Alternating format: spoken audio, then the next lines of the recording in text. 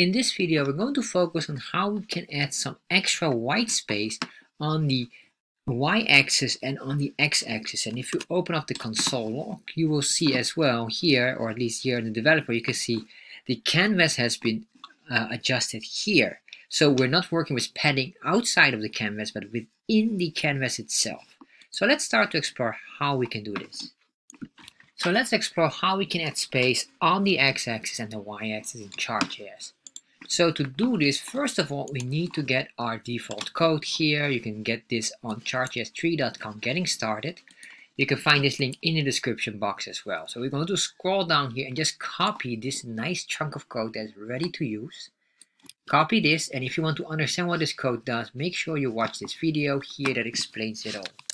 So then what I'm going to do is I just paste that all in there and afterwards I'm just going to cut out the title, put in the title here save this and refresh. Alright, so now we have a basic bar chart here and what we want to do now is to focus on the x-axis, or sorry, on the y-axis and the x-axis here.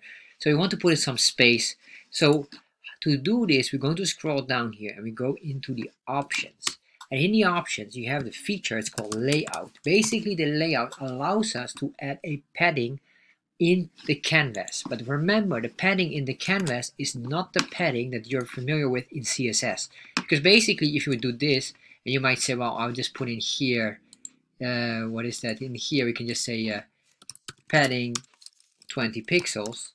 This will work, but what it really does is it will not impact the canvas itself because basically there's no space here. Or well, you can see the canvas has changed a bit, but the space here is not real space that we can consider. So that's why what we're going to do here is a different type. Let's refresh this, all right? And that is the layout feature.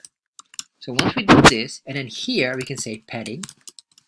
And we could do here, for example, 50 pixels, 50, save this, and then refresh. And what happens now is this padding is basically built in the canvas. Of course, I don't want the full padding. I want the padding here on the left and padding at the bottom.